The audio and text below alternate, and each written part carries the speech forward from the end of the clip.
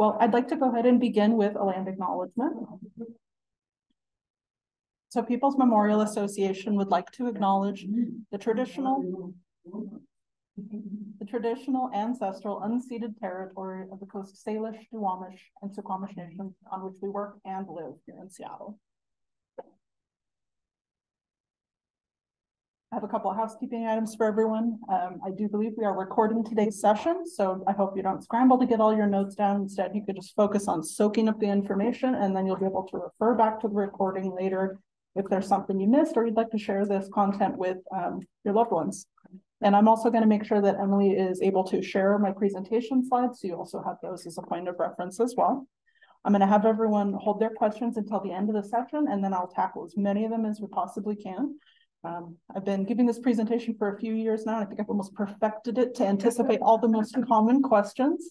So I ask you to have faith in me.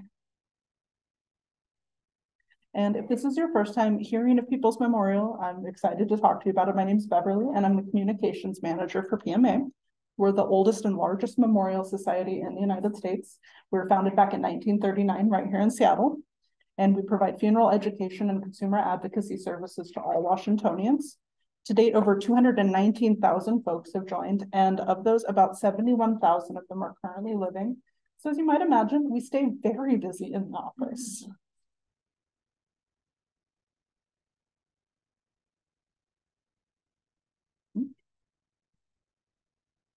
And in terms of what we do to stay so busy, well, series like our, you know, sort of classic ducks in a row uh, is one of the big things.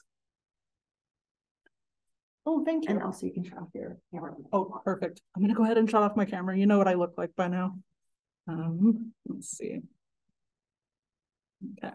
Well, like I said, so education is a huge piece of this. We do community classes like this, and we post um, an incredible bevy of resources on our website and our Facebook and our Instagram. And if I can ever get my colleagues to learn a little dance choreography, maybe you'll see us on TikTok. But uh, they've been pretty resistant. Uh, in addition to that educational work, we're also really proud to get to do some really wonderful advocacy work, generally supporting our state level legislature, though sometimes we do participate in federal level stuff. Uh, we work to increase funeral choice, to increase price transparency in a notoriously opaque industry, funeral industry, and we also work to protect cultural rights. Here in Washington, uh, if you've spent more than five minutes here, I'm sure you're well aware we have an incredible diversity of peoples here, and everybody deserves equal access to cremation, burial, natural organic reduction, alkaline hydrolysis, and all the meaningful spiritual, emotional, and cultural practices that help us grieve the loss of someone we love and celebrate their lives. I might just not use the clicker. this is not our day for technology, but that's okay. There we go. Well, I want to say uh, welcome to Emily Billow, who is here from the Seattle Public Library. She is hosting us at PMA here, and I thought maybe she'd like to share a couple of announcements or no? All right, well, she's here. Rest assured, I'm supervised. well, we'll skip right over to that and then introduce you to me. Uh, like I mentioned before, uh, I'm the communications manager for People's Memorial Association, and in future sessions, I'll be hosting, or I'll be bringing in some pals from other organizations to help teach that content, but today you're stuck with me. So I hope you'll bear with me. I'm going to swap over slideshows real quick. Do, do, do. Okay. Okay, so funeral options 2.0. I'm starting off with something kind of spicy. Yes. Oh, let me take care with that.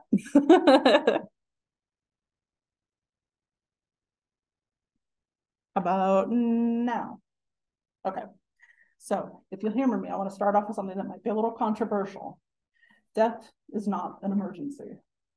Uh, if you grew up in the States, you've probably been pretty acculturated with this idea that when a death occurs, everything is go, go, go.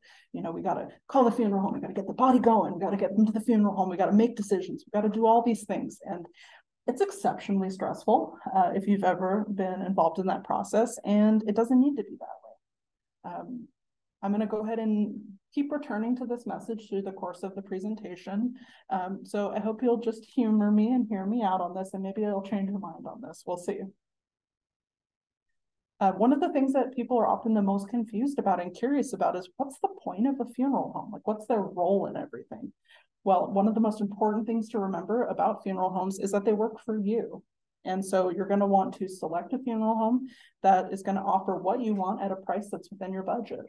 Um, a lot of times I've heard from folks who've made choices or maybe felt pressured into making certain choices because they didn't want to offend their funeral director or, you know, they wanted to respect their professional opinion. But it's important to know that those people are there to support you. So if you're being presented with options that don't meet your needs or maybe just quite aren't hitting the mark, you're always allowed to say no or to ask for something different. And if you feel unheard or maybe pressured into any choice, you're always allowed to leave. This is really what's most important is that your family is getting the care that they need and um, in an environment they're comfortable in. And so don't worry about ever offending your funeral director. They do this job every day and you're not going to hurt their feelings. They're very tough, I promise.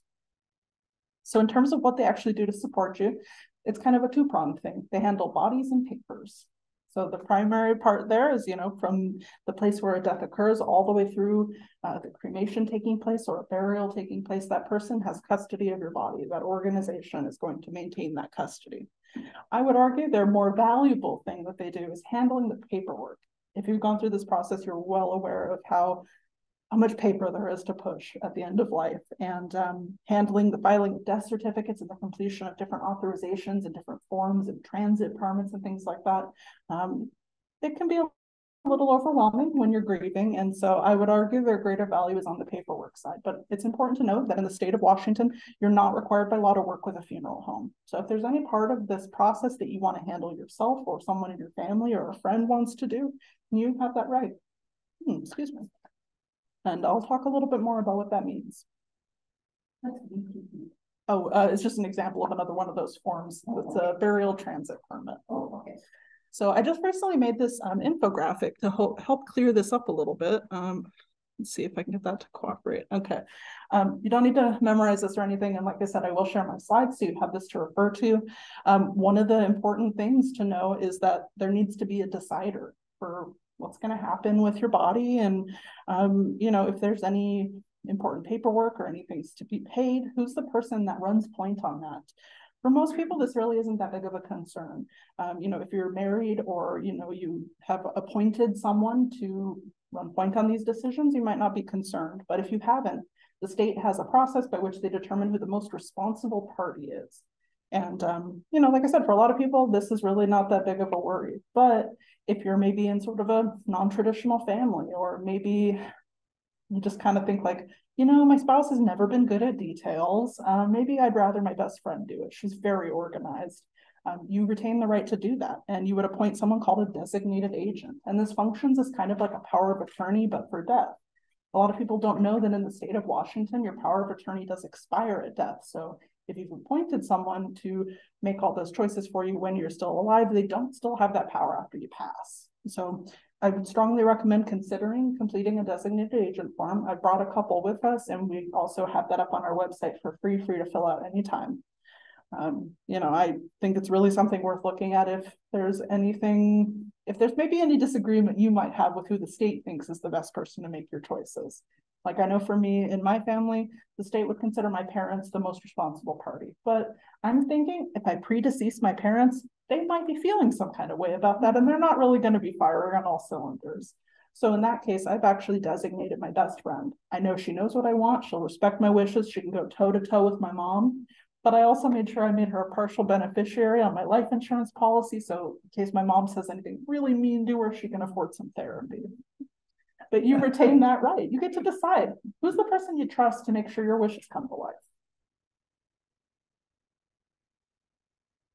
So that form is going to be the one on the left. Uh, the next form that's super important for you is going to be the disposition authorization form. And I brought a couple samples of those, and that also is available on our website for free. Once both of these papers are signed, these are legal documents. So this is a great way to make sure that it's crystal clear what you want for yourself. So the paper on the left, you'll be using that to decide who makes choices. And the one on the right is going to help guide them to figure out what choices you want made. The disposition authorization is how you say what you want done with your body. Um, and you can be as vague as you want or as granular. It really depends on how, how you feel about your wishes. You know, I've seen people do something as simple as just say cremation and my niece knows what I want. That's just fine. But I've also seen people write just about an essay on there, like, you know, I've got my plot purchased at a cemetery. I want that baby pink casket. I've already had my heart set on. I've got the dress picked out in a garment bag on the left hand side of the closet. These are my flowers. And don't you dare let Susan come to the funeral. She knows what she did in 1978. This is a great way to just write down all the details that matter to you. You get to decide because it's important that you get what you want. And your family, when they're not able to check in with you, they're going to want to make sure they're providing you what you would have wanted. So this form is a great way to make that clear to them. So, and I almost argue for a lot of people that it makes more sense to do this when you just want something simple. Um, I find that I talk to a lot of families where they just don't want a big fuss. And it's really easy when you've lost someone to feel like you should make a fuss. You know, it's it's a missing person, it's a loss in your life, and you want to celebrate them. And sometimes you might feel a little bit pressured maybe by the people in your life or by a funeral home to keep doing more. Like there's some sort of tie between the way you spend your money and how much you love someone, but it's really, there's not a connection there. So I really would encourage you to consider putting those wishes down in writing to make sure that your family has sort of a cheat sheet to make sure they can get you what you want. So here in Washington, we're blessed with what I would call like a sort of um, embarrassment of riches in terms of what you can do with your body after death. Of course, you can be cremated, you can be buried, Many people choose a full body donation, but we also here have alkaline hydrolysis and natural organic reduction.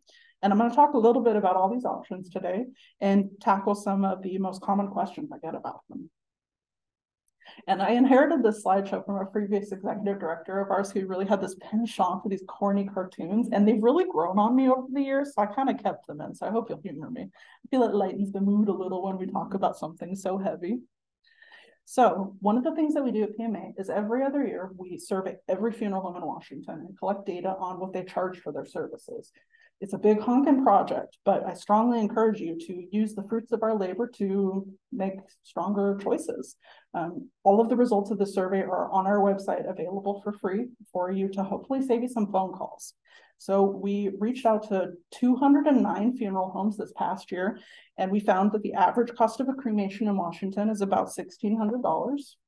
But we also noticed that there was a 770% difference between the most affordable cremation and the most costly in Washington.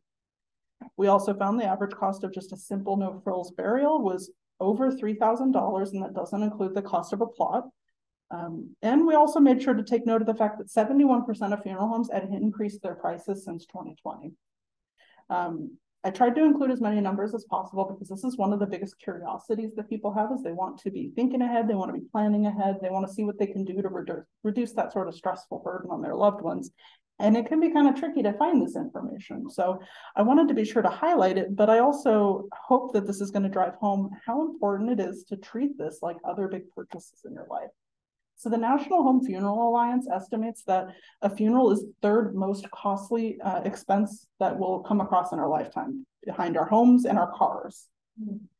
And sometimes people think it's a little bit weird to draw this comparison, but I always say that you want to treat a funeral just like a big appliance purchase, uh, which sounds kind of silly, but like think about the last time you bought a new refrigerator it probably cost a fraction of what a funeral is going to cost, but you took that real serious. You probably had a spreadsheet. You probably talked to all your friends to see where they got a good deal. You want to make sure it matches your other appliances. You've got strong feelings on vertical doors or horizontal. You know, you want to make sure you catch a good sale. Um, you want to use all those same smart consumer practices when you're shopping for a funeral. It doesn't, a lot of us grow up with this idea that it's kind of tacky to think that you can comparison shop with a funeral home. You know, none of us want to feel cheap, but it's not being cheap if you're making choices that are going to help you just stay in your budget and make a good financial choice for your loved ones. This is a bit, this can be a big honkin' purchase, and we just want to be smart about it. So I think you're probably going to see some stuff in here that's going to make you want to uh, do a little advanced planning um, in terms of talking and I don't know, investigating, seeing what's right for you. So of those five disposition options, I'm going to go ahead and start with cremation because it is far and away the most popular choice in Washington. So about 80% of folks that die in Washington are cremated, and I think that's the second highest rate in the nation. The country averages like 54%. Um, and there's two reasons for this. The number one, far and away, is that this is the most affordable option for what to do with your death. Hard to argue with that. Number two, though, coming in hot is that people generally tend to think of cremation as the most environmentally friendly option. If you're from the area, you know this is sort of the uh, the sort of um, mecca for like irredeemable tree huggers. Um, I know I can't be alone in that, and so we're thinking like you know I love the earth. I want to make sure I make a choice that nurtures it. So that's one of that's the number two reason people choose this. And as you'll see in a little bit here, we have a couple of newer options that are even more environmentally friendly. And we think that this number of 80% is going to change as more people learn about those other options. And I also included an image here of just a sampling of the different kinds of urns that are available. A lot of folks don't know that there is a there's only one federal law that governs the funeral industry, um, the 1984 funeral rule. And one of the provisions of that is that you're allowed to provide your own merchandise. And a lot of people don't know that. So they might be sitting in a funeral home, you know, planning the care for someone they love, and they might see the stuff on the walls and they think like, all that stuff's too buttoned up. It's not right. Like it doesn't fit my person. And you know, they might end up settling on something that just doesn't quite seem right. You're allowed to shop around, go to other businesses, even shop online and find an urn that you like better and bring it in and they have to use that. Um, and this is just to give you an idea of the variety of items out there. You know, I always joke that I've never seen someone come into the funeral home um, and like match this. This is one of the most popular urn purchases that folks make. Um, but it's it's very buttoned up, it's very formal. And I'm sure we all have maybe a grandma or an aunt who's that's heard it with tea, but for a lot of us, we've got loved ones who were goofy or lighthearted or, you know, it just wasn't them. So if you're seeing merchandise in a funeral home and nothing is quite speaking to you, know that you can shop around. And again, this might sound a little bit silly, but two of the number, the top places that folks turn to, Amazon and Costco. The joke I always hear about Costco is, oh, do I have to buy six of them to get the deal? No, of course not. Um, lots of folks say that they have such incredible customer service that they love to buy caskets from them, for example. You know, they don't have a very wide selection, but you know, at a time like this and a purchase like this, you really want some folks that are going to turn up on the customer service side. Um, and then with the Amazon side, again, sounds kind of weird, but the diversity of options available on there, like you're really going to find the exact right thing you want. So it's worth it to do a little shopping around if you don't see something that suits you. Um, but you know, if you do see something in there, more power to you. Ooh, that got exciting. Okay, there we go. All right, so the top questions I get about cremation. Um, the process takes about four to six hours, depending on the composition of your body. Um, it's possible to witness the cremation. Uh, just know that it doesn't mean anything gruesome. Um, that term is just like to be there when your person is placed into the machine. Um, like there's some religions that it's super important that a particular person is the last one in the family to touch the loved one before they go into the afterlife. So you can be there for that process. Um, and some people really like that because it gives them an opportunity to place special items with their loved one. There might be some limitations from the funeral home on what those items are, like generally no nothing made of glass or anything with batteries. But you know, if you want to tuck someone in with their favorite blanket or some letters or photos or something. That's absolutely something you can do. And it can be a really meaningful way to incorporate more ceremony into a cremation, which is something people are sometimes concerned about. They think cremation feels kind of clinical, but there's ways to incorporate your own kind of ceremony into it.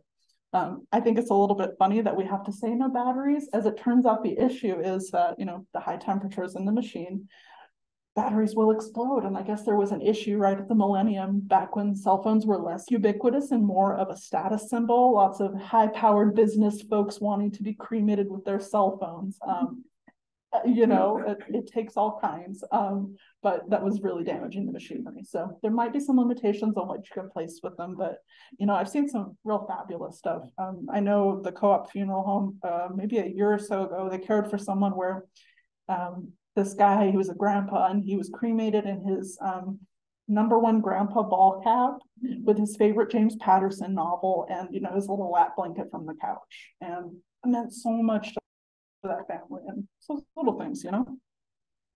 Um, and then the last thing on this one is that it's important to know that only a dentist can extract gold fillings. Um, some people think this is a very kooky thing to bring up, but I can see the traffic on our website, all the data behind the scenes, and it's still the number one reason people come to our website is they want to know what happens to gold fillings.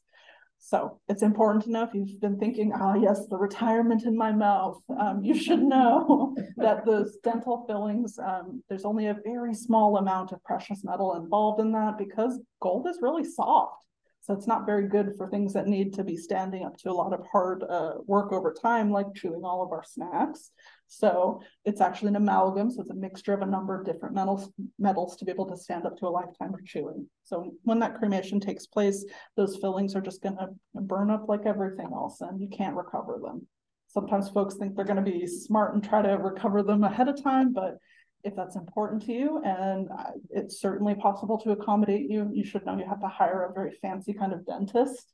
They're called a forensic odontologist and they're no cheap date. Um, so that's an option that remains available to you if you'd like it, but just know that um, you can only involve a dentist and that no one else on the staff is allowed to be touching your body like that. So just in case you were maybe a little bit curious. Um, one of the most popular things that people ask is, you know, well, I got the death care I wanted for my loved one. Now what? What am I supposed to do with this urn? Um, you know, lots of folks do keep urns in their homes. You know, you can actually bury an urn. Um, there's cemeteries have spaces for that, but a lot of folks choose to do scatterings. And there's, um, of course, some laws around that. Generally, you know, if you want to bury that urn or scatter those ashes on your land, go for it. It's your world. We're living in it. But it's generally pretty bad manners to do it on someone else's land without permission. Um, and it's wild that I have to tell people that, but there's just a lot of people that want to be scattered at Disneyland. And they actually have a park protocol for shutting down parts of the park to clean it because this happens so often. People try to sneak urns in. It's very unusual. So very bad manners. Please don't do that. Um, but lots of people here choose to be scattered on, on parkland. And so you can absolutely do that. You want to reach out to the leadership either at that national or state park, usually like a park ranger, and see if there's any rules about it. Um, it's been my experience that folks are really accommodating about it. They just might ask you, like, don't do the scattering right at the trailhead, or make sure you step this many feet off of the trail just as a courtesy to other hikers. Um, but they tend to be really accommodating of that. Um, but I think the thing that's more popular up here is water scatterings. Of course, we've got lots of beautiful waterways up here, and you can do a scattering on any navigable waterway. So it just needs to be moving water. So no ponds, no puddles, no lakes, but we love a river and the ocean's fabulous as well. Um, one thing that we do up here that I think is really cool is that you can actually do scatterings from the Washington State ferries, which is a really popular choice for locals, of course. And uh, I've been to a couple of these ceremonies and it's really fabulous. If you contact the ferry system ahead of time to let them know that's what you're going to be doing, they'll actually have the vessel stop, they'll make an announcement, they'll sound the horn, they'll call for a moment of silence, and you can do your scattering. And um, they actually now record the GPS coordinate of where the vessel stops. So you can get that printed on a certificate so you can visit the exact spot if you want later on, um, which I think is just a lovely little touch. And I included an image here. This is um, a type of urn that is water soluble. Um, sometimes folks are interested in scatterings, but they're a little bit squeamish about touching ashes, and that's just fine. Um, this is a great option for that. Um, this whole thing is handmade paper, and so you would just put the whole urn in the water, and it just slowly takes on water and sinks down. So no mess, no fuss, which is um, yeah, just a wonderful option. So in the vein of cremation, I thought we talked a little bit about alkaline hydrolysis. Uh, this option was just legalized back in 2019. Um, PMA was actually really excited. We got to be involved in the process of legalizing this option. And um, you might have heard it called one of these other names up here, either water cremation, aquamation, green cremation, dissolution, um, all kind of the same thing. Some of these are just brand names. Um, legally, Washington calls it an alkaline hydrolysis. Um, and I thought I'd include an image of the machine because it can be a little bit hard to imagine. This is going to be sort of a water-based cremation. And I think one of the interesting things about, mm, excuse me, about this is you can see in the image, um, it has a big honking door on the front of that. It's actually a submarine door. Oh. Part of the way that this process works is you get this airtight seal on the chamber inside so that the water inside that breaks your body down is really leaning on some uh, high pressure. So that way the water doesn't have to be especially hot. And also there doesn't need to be that many added chemicals to aid in the breakdown process, really depending on that water pressure. So we're going to be accelerating that natural decomposition process using that combo of the flow of water under that high pressure. The water is going to be warm, but not like boiling. Um, and then alkaline chemicals. You can see in the name, got some alkalinity in there. And depending on the composition of your body, there'll be a ratio of water to alkaline uh, chemicals. Usually it's like sodium hydroxide or like potash or lye, if you've ever made soap, kind of that sort of thing. Um, I have a colleague who um, sometimes jokes that uh, this process is like the deepest clean you'll ever get, um, which I think is a little, a little spooky, but also kind of fun. So, and some more images, just because this is a newer thing that a lot of folks haven't heard of. Um, just kind of a mock-up of how this works. And so you're placed inside this enclosed system by yourself. And um, yeah, what's left at the end, there's some liquid left at the end and then your skeleton. And just like a cremation, that uh, those bones will be broken down into a fine powder. And then you can do all the same things with a body after an aquamation that you can with a cremation. You can put your person in an urn, you can scatter them, um, you can bury the urn, you can even get some of those kooky novelty products. Like, you know, you've seen those things where you can be like, oh, you have your ashes pressed pressed into a diamond or into a vinyl record or any of that kind of stuff. You can do all of that. And so people ask, you know, what do you get back? And it is ashes that are very similar to a cremation. Um, they look a little bit different. Um, I think I actually have a photo if you'll humor me. I hope this isn't too gruesome for anybody, but I do find people ask a lot. Um, on the left-hand side is a conventional cremation, and you can see this is a bit of a grittier, more gray, kind of, I think it's kind of similar to the consistency of kitty litter almost. But the one on the right from the alkaline hydrolysis is generally more white and much more fine powder um, but ultimately very similar and it's completely safe to touch. And like I said, you can do all of the same things you want with it. And just to drive this home again, this is 100% pathogen and disease free. Um, that was a concern that some folks had when this process was developed is like, you know, is it as safe and effective as the other options available? And the answer is yes. So you might be curious, you know, what's what's the point of this? Well, like I said at the beginning, this is an option that is available to folks that's a bit more environmentally friendly. Some people really like the idea of it being a little bit more gentle and respectful. Like some people are a little bit uncomfortable with the cremation because it seems kind of destructive. Um, you know, there's some cultures like there's still a lot of Jewish folks that are very uncomfortable with cremation, but this might be an option that resonates more with them. Um, some people really like the idea of being broken down by water. Um, there's this really wonderful story that a colleague shared with me about a priest who had come to tour a facility that offered this and said, you know, it's kind of a circle of life moment. Like we come into the world and like the warm waters of our mother's womb, it only is fitting that we like, you know, leave the world in another sort of warm bath. Um, so that really resonates with people. Um, you know, it's nothing to sneeze at to see the zero emissions of harmful greenhouse gases. We've got a substantially lower consumption of natural gas that is an essential part of cremation. Um, and scientists sort of disagree on this last point. So it's somewhere between one sixth and one tenth the carbon footprint of a cremation. So if the environment is something that you're really considering, uh, this might be an option that is a good fit for you. Um, but yeah, that's kind of the stuff that generally speaks to people about this option. Um, and it's really exciting. I have to get a new map. Um, even more states have legalized this. At last count, word on the streets was there's about 22 states in the U.S. that have legalized this option, and parts of Canada. So it's uh, it's kind of an exciting time to be in this advocacy space because it's really showing how much power we have as consumers. People are saying, you know, I want more options. You know, the stuff that you have offered me is not meeting my needs. I would like some other alternatives, and that's very exciting. Um, some folks are still a little bit hesitant about this stuff because they're concerned that um, options like alkaline hydrolysis might supplant classical options, but it's important to know that no one is looking to replace a conventional burial or get rid of cremation. It's really just about offering more options so everybody can find something that meets their needs. Um, I like to I like to lighten the mood with this photo. This is one of my favorites. This is a colleague, Dion Strummer. He he's retired now, but he was instrumental in getting this legalized in Oregon, and he is such a kooky guy um, that he was just so excited he decided to model the machine for us. Um, I just love that photo. It's so great. yeah, exactly. A rehearsal. Um, and so you know, um, again, one thing that might surprise people is that this isn't um, some sort of newfangled technology. It's actually been in use for a really long time. Um, the process was like first created in a slightly different version in the 1800s and uh, went through some transformations over time and then has been used to care for humans since the 90s, as far as I know. Um, it's only become commercially available somewhat recently, um, but had been in use for a number of years by some of these institutions down here to care for the bodies of folks that had donated their bodies to science. And so my general sort of reasoning is if it's good enough for the Mayo Clinic, it's probably good enough for me too. So I think that's just kind of interesting. We just haven't heard much about it, um, but it's growing in popularity, and I think that's a really exciting thing. And the part we've all been wondering, how much does it cost? Well, when we did our price survey this past year, we found that now twenty-seven percent of Washington funeral homes are offering this option, which is very exciting considering it only became legalized in twenty nineteen.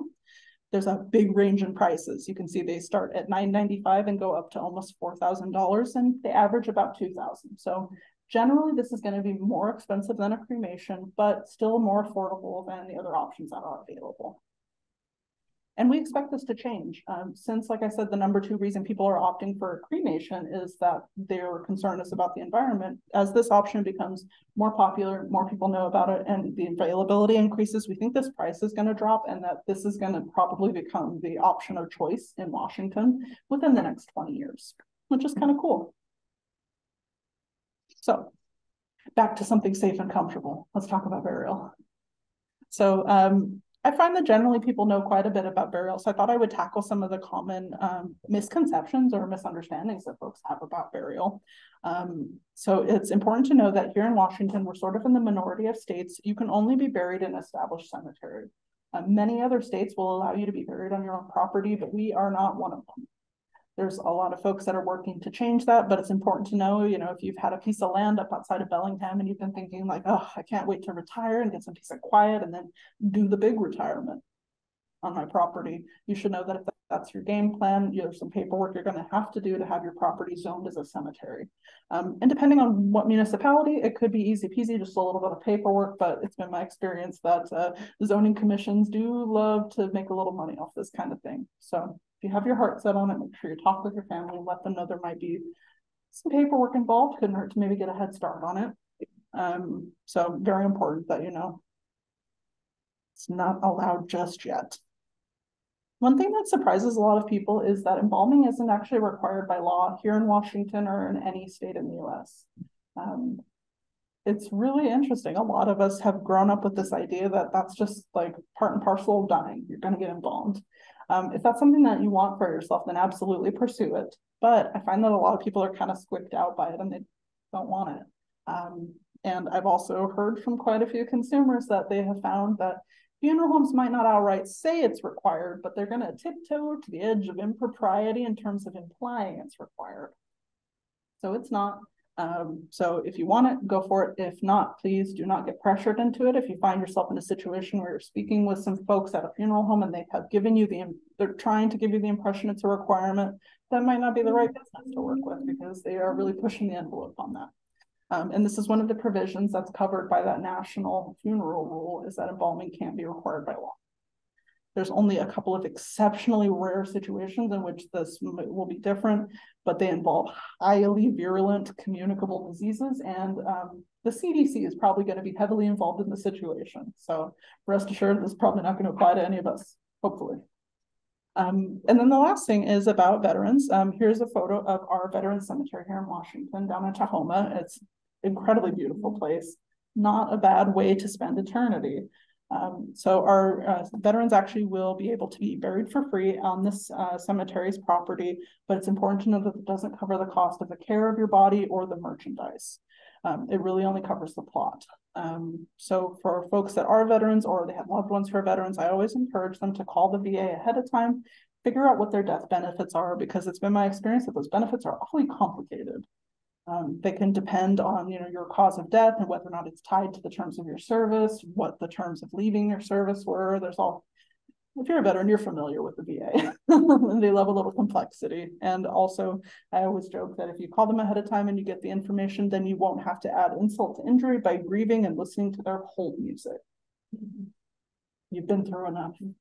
So just make sure that you have a good, clear picture of what those benefits are. Um, I think it often surprises people that they have to wait for a reimbursement rather than being um, afforded those benefits ahead of time.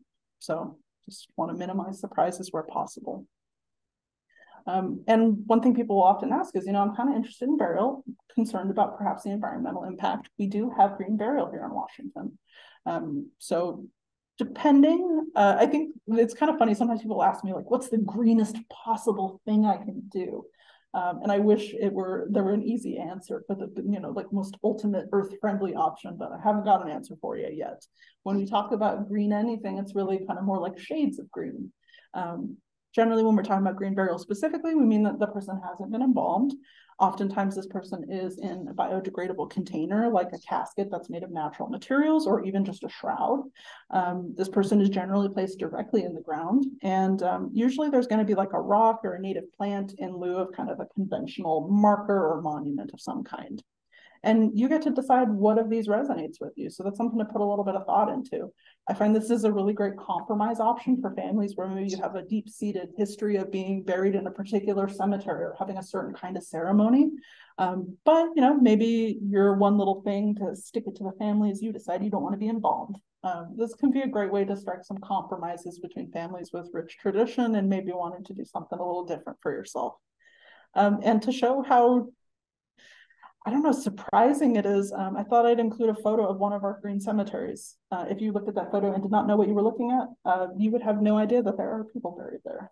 Um, I think one of the really interesting things about this option is that it's kind of become a really interesting way to do land conservation. Um, there's actually specifically conservation cemeteries around the country where these folks have this land zoned this way, and it helps them protect that land from being developed on in the future. And so it's a great way to protect certain types of uh, species and different kinds of plant life that might be under threat. Um, kind of an interesting uh, way to do that. And gosh, it's just, they can be an incredibly beautiful place to visit. Um, and then I thought I'd include a couple of examples of what those biodegradable containers look like. This one up on the top is a woven seagrass. And then this one on the bottom is a really popular product. This is a handmade shroud. And um, it's got handles on there to make sure it's as easy as possible for folks to lift your body. And um, it's just, you know, made out of natural fibers meant to break down over time. Um, some essential information that you should know about cemeteries. Um, when you purchase a plot, you're not purchasing the land, you're purchasing the right to be buried there. And so the cemetery still technically owns the land, and so they still get to make the rules, and they do love rules. So they can restrict the use of the plot in whatever way they want. They can say how many people are buried there, they can require a cement grave vault or liner to go around your casket, and they can make rules about the size and type of monument. And these might seem like sort of non-issues, um, but it's important to maybe take into consideration some of the like weird semantic things that might happen here with respect to the number of burials. Um, sometimes I come across uh, married couples who say, well, one of us wants to be cremated and the other wants to be buried. And so the compromise might be you each do your own thing, and then the person that's buried is buried with the urn of the other one in the casket, which is lovely. But the cemetery could say, no, that's two people. Nice try maximum occupancy. The fire marshal will be on us, you know, um, so that might be something that you're not anticipating. So, you know, this is a kind of a small detail. Um, you know, and I've come across folks that maybe you're like me and you're just a, an animal lover and you might like have your heart set on being buried, you know, with your favorite cat's urn in the casket with you. And there's cemeteries where um, they have very strict rules. Usually, I think it's Catholic cemeteries. They've got very strict rules about pets and humans being buried together and the cemetery owns the property, so they make the rules. Um, with respect to the grave vault liner, a lot of people don't know about this, but it's sort of like a almost like a very large shoebox made out of cement, and your casket goes inside of it, and then the whole thing goes in the ground. I've noticed that a lot of businesses will say, um, "Oh yeah, you want this? It'll keep the water out. It'll keep the creepy crawlies out, protect you." Um, Cement is porous, so that's not true. Um, and also, it's important to know that you, you certainly might keep out some creepy crawlies, but our body is built to self-destruct and break down over time. So even if you do that, you will still break down over time, even if you're embalmed. It's nature's way. Um, I wish that they would just be honest. The true purpose of these is, um, you know, as time goes by and our bodies break down and our caskets break down, um, maybe you've been to a historic cemetery and you've seen there's like divots over the graves and it's just, you know, the dirt kind of settles down. It's really hard to drive a lawnmower over that. That's it. So, you know, when they put the cement liner in there, it helps to keep the ground level so it's safe for them to draw, drive lawn equipment. Mm -hmm. And I think that for most of us, we're thinking like, oh, you just want to keep the cemetery looking nice. Like, okay, yeah, that's fine. Um, but they really kind of pull our leg a little bit about how much it's going to protect us and it kind of misleads us about what they're up to. Um, so they just want to be able to drive their big lawnmower safely. That's it. Easy peasy. Um, one thing that just frustrates the hell out of us at PMA, and we've been working on trying to resolve this since the 70s, truly, probably even earlier. Um, but cemeteries aren't required to provide you a price list the way that funeral homes are. So that national funeral rule um, says that funeral homes are required to give you a written price list if you walk in their door. They're supposed to give you a quote over the phone, but cemeteries are not required to do the same. So it can be really tricky if you've got your heart set on burial and you're trying to be proactive, you're trying to plan ahead, figure out what kind of funds to set aside. Cemeteries can be pretty sneaky about trying to give you some concrete information about what to expect on prices. So just something to manage your expectations on. Um, oh yeah, and I also did want to mention the size and type of monument. Again, this might seem like sort of a non-issue, but you know, there's cemeteries that have kind of specific aesthetics. You know, like if you're in a veteran cemetery, you know, because all the monuments look identical. And there's other cemeteries that might have rules about, you know, your monument can only be this big or made out of this material. Or I grew up in Arizona, and generally most cemeteries will require you to have the the plaque in the ground instead of a vertical thing because it's easier to move um, you know, so it's their world and we're just living in it or dying in it, as it were. Oh, goodness. Okay, so back to something exciting. Uh, natural organic reduction is another one of those options that was legalized in 2019. This is another thing you've probably heard called a bunch of different names, but this is literally composting people. Um, very exciting. So this project started back in 2017 under a different name uh, called the Urban Death Project, which I think is nice and ominous. And so a ton of scientists worked on this together to make sure it was going to be safe and effective, kind of a collaboration between the Western Carolina University Forensic Anthropology Department, as well as our own Washington State University. And the first facility offering this opened up in 2020. And so I included a photo here of an example of what a vessel looks like. And I've got some more photos. I've been meaning to get some even more uh, recent ones. But up at the top, you've got the founder of Recompose. That's Katrina Spade, and she's credited with having developed this process. Down on the bottom is Micah Truman, and he runs another uh, funeral home that offers this here in the area called Return Home. And um, on the right-hand side is what the facility looks like now. The first time I visited them, they hadn't had the art installed, and I think it's a definite improvement. Uh, they have some lovely art there now, but at the time it was looking kind of like a spooky Costco, truthfully. Um, but you can see two different ideas here. So we've got a hexagonal vessel up here versus um, a rectangular one here. And so in each of these, a person is placed by themselves with different types of organic material, just like your garden compost. You might have sawdust or alfalfa or flowers or um, food. Um, sometimes folks, when they choose this process, you know, you can place certain items in there with your loved ones um, just like with a cremation. So you might put some letters in there because of course paper breaks down. But I've also heard from uh, Micah Return Home that sometimes people will put like snacks, like their loved one's favorite snack in there. So he was telling me about someone that put Twinkies in there. I did not think Twinkies would break down naturally. I've got to be honest. Um, but that might be a sweet thing to do. And he was telling me about, you know, some uh, a young guy where his friends like poured a couple of shots of Jameson in there, which is very sweet as well. Um, certainly an option. So you might have heard this called, you know, human composting, recomposition, terramation. These are all kind of the same process. Each of the four businesses in Washington that do this uh, do the process a little bit differently. They tend to be kind of secretive about their proprietary technology, but we did find that um, when we did the price survey, 20% of Washington funeral homes are now offering the service to their communities through business-to-business partnerships with those four contractors. Um, the prices right now, they're as low as $39.75, but they go up to 7000 Again, just depends on who you work with. Um, oh, I should put more slides in there. Well, so the process takes, you know, depending on your body composition, maybe six to eight weeks. Um, each of these businesses kind of has a different way of doing this. So you're enclosed in there with those natural products and they're rotated periodically and there's a certain amount of air that blows across the top and just like your home compost, it's really fascinating the way the sort of decomposers in our body um, sort of just get to work doing that microbial action of breaking our bodies down. And at the end of that time frame, um, they kind of scan to make sure that everything's broken down. Um, if there's any solids in there, like sometimes you might have medical hardware, they just pluck it out. Um, if there's any like large bone fragments still, they'll go ahead and break it down so it integrates into the soil and you'll get roughly a pickup truck bed full of soil, which is kind of astonishing, I must say. And even for the most avid gardener among us, that might be a little more than your family was ready for. So they have a lot of great options for how to work with that. You know, you're not required to take all of the soil. You can take as much as you want. They can partition it into small amounts. So everyone in your family can take a little bit home with them if that's something you'd like. Um, but I think one of the cool things about this is that each of these businesses that's doing this also has a partnership with a land trust. And so you can take as much or as little as you want, and then you can choose to donate the rest of the soil. So I hear people tell me all the time, like, I don't really know what I want for a funeral, but I want to be a tree, um, which is very lovely and speaks to me. Um, if that's you, this is going to be your option because you can donate your soil to help rehabilitate exploited land in Washington. And so instead of being a tree, you could be a whole forest, which is oh, goals, isn't it? This is lovely to imagine. Um, even as long as I've been working at PMA, which is about five years now, I still like part of me kind of was skeptical about this process like actually working.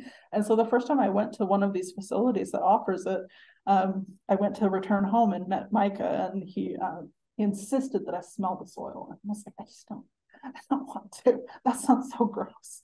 And finally I was like, okay, okay, fine, I'll do it. And I teared up because I am a baby and because it smells like the forest when you go for a hike right after a rain.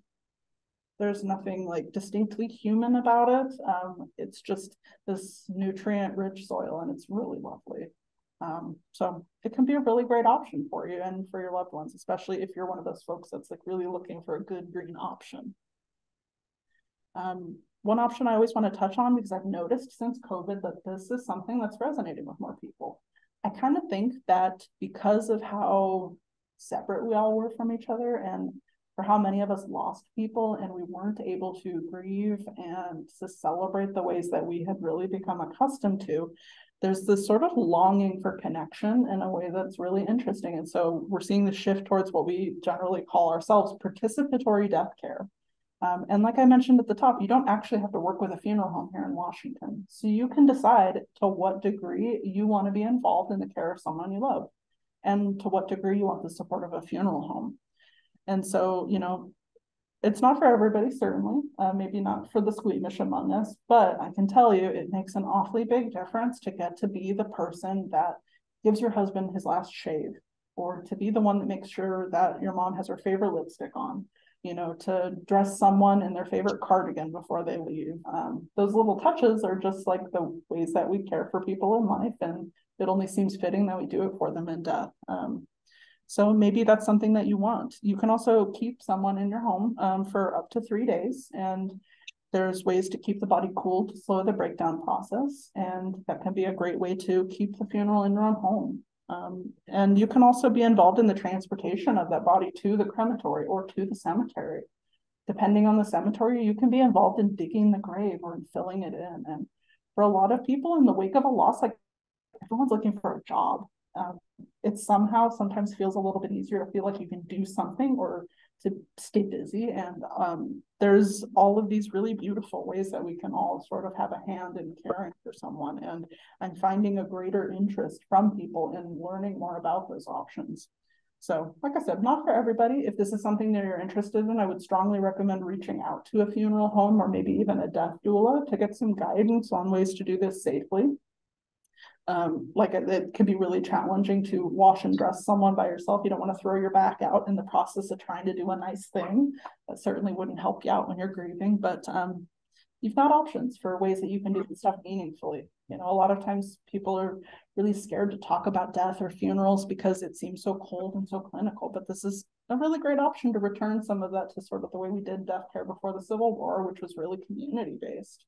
And it can be a great opportunity to have connection and uh, points of contact and this little stuff. So something to think about. Um, one of the things that's super popular here in Washington is full body donation. Um, so when someone says, you know, I want to donate my body to science, this is what they're talking about. There's lots of different ways to do it. Uh, generally, the way that I suggest, if this is something that resonates with people, is to look at donating to a medical school. Here in Washington, we have two medical schools. We've got the University of Washington and we also have WSU and you can donate your body um, to either of those institutions. You can also donate to our mortuary school here in Washington called Lake Washington Tech. And that's where the funeral directors of tomorrow learn how to care for bodies. And that can be a wonderful thing to do as well. One of the things to know though is that this is an incredibly popular choice for people to make here. So if this is something you're wanting for yourself, you need to apply ahead of time. Um, there's some paperwork that they'll want you to complete and they will not guarantee that they're going to take your donation when the time comes.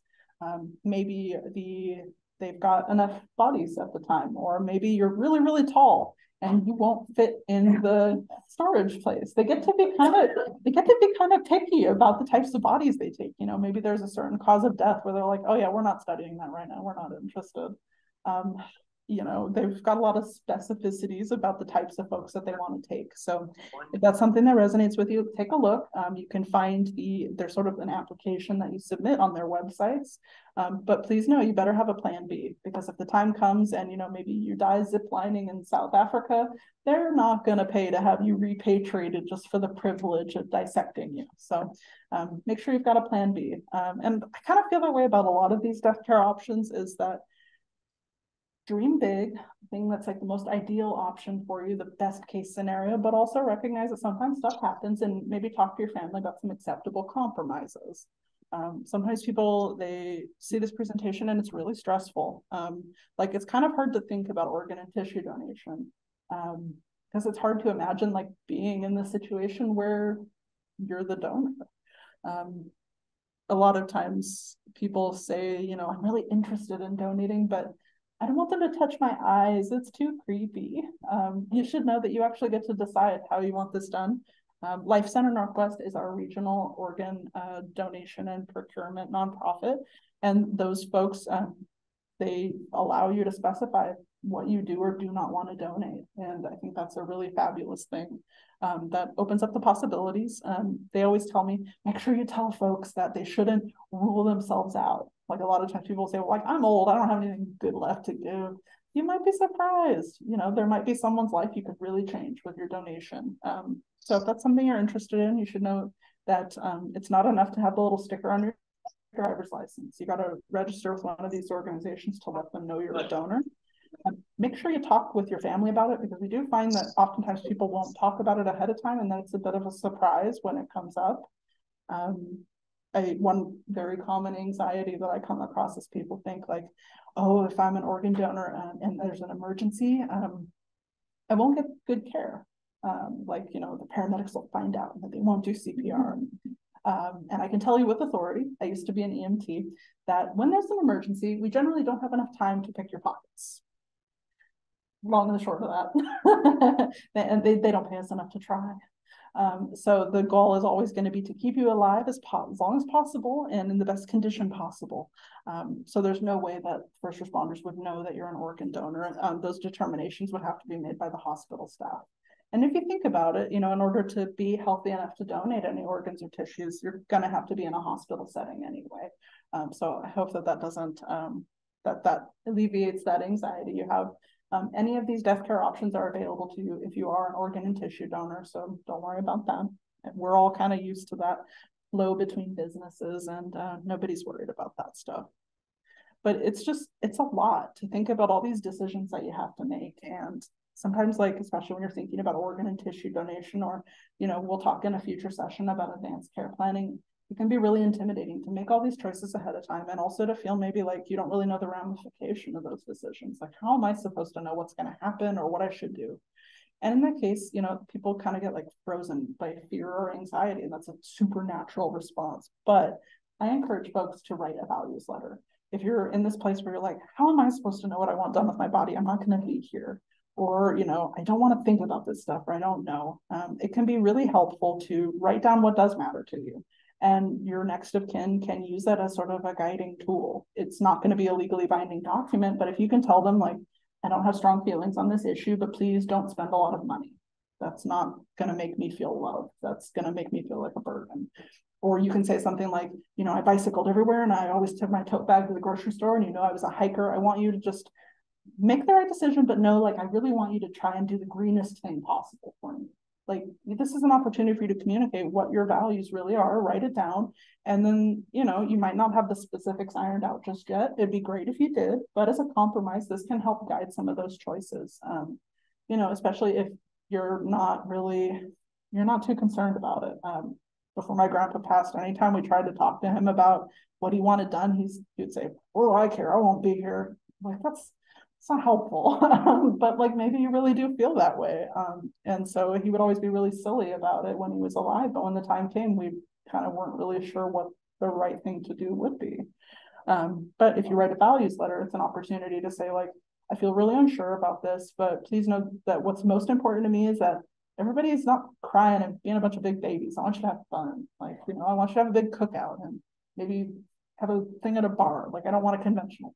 Or you remember how important my faith was to me. I just want there to be a really nice mass said for me or something like that. So that's an option that remains to you because this can be a little bit intimidating. It's important, but it's also, I know a lot. I do this for a living and it doesn't stop feeling like a lot.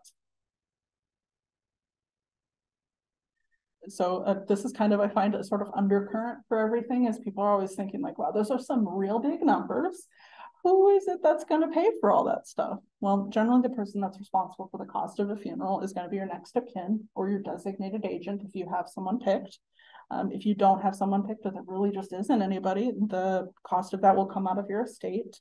Um, and if there's no money in your estate, you don't have any assets then each county here in Washington has a limited fund available where they're able to do indigent cremations. This fund is really limited and this is not ideal.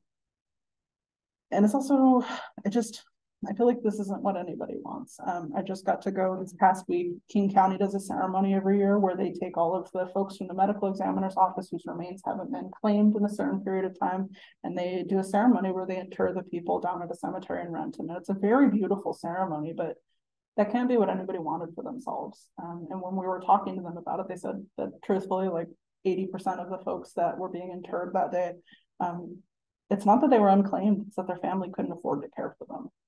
So it's it's really a sad situation. Um, and it really speaks to, you know, how costly this can be. I'm sure some of these numbers probably surprised you all about the cost of this care. Um, at PMA, we're working to try and help as many families as possible. We have our own financial assistance fund for folks that are experiencing serious financial hardship. Um, but, you know, this year, I think maybe we've helped like 25 families um, because it costs a lot we're trying to do our best, but this is not the best case scenario. So it's really important that you have these conversations with your family ahead of time about how what kind of care you want and start to put some thought into how you're going to finance that care. Um, one of the most important things I hope that you're going to take away from this is that shopping around is really valuable. Remember, federal law says that they have to give you a general price list if you walk into the funeral home, and they have to give you a quote over the phone. Um, that being said, there's very few of us that want to talk to funeral directors that bad. So I wouldn't blame you if maybe you wanted to hop on our website and use our price survey to help save you a couple phone calls just to get the basic information about what the cost of the different types of care in your neighborhood are. Just give you an idea. And that's available for free. We update it every other year. It's a big honking project that hopefully is helpful to you. Um, and, you know, again, it's kind of it can be hard to know what the right way to do this is. And again, we're going to treat it like any other big purchase. You know, you're going to set a budget, determine what appropriate price is. You know, maybe you want to research the reputation of that funeral home in the neighborhood, um, learn a little bit about what kind of services they offer, who owns them. Um, far and away, the number one reason funeral homes are chosen is that that's the closest funeral home to where a death occurred. Um, and that might be just fine, but maybe you've got your heart set on something particular. Like maybe you're religious and you need to be washed in a certain way by a particular person in your community. Or maybe you know you've got um, a certain type of prayer that needs to be said over your body. You're going to want to make sure that you've identified a funeral home that's familiar with your traditions and can do things the way that you want them done. Or you know maybe you're one of those folks that wants to be composted. Not every funeral home offers that. So you know you're going to use some conventional tools. And humor me on this. You can use resources like yelp and google. But i just would caution you to remember that the only time any of us ever writes a review about something is when we've got something to say. so it can inform your decision making, but maybe not the uh, the long and the short of it. So use the tools that are at, at hand to kind of figure out what's right for you. Um, and people often ask me, you know, like, this is a really intimidating amount of money. Should I just go ahead and prepay it? With this, you know, we're a nonprofit. We don't have a vested interest in any of your decisions. We don't care. Just do what you want. You know, the only wrong choice about death care is an uninformed one, as far as we're concerned. But you should know that generally, when people ask about prepayment, it's because they want to lock a price.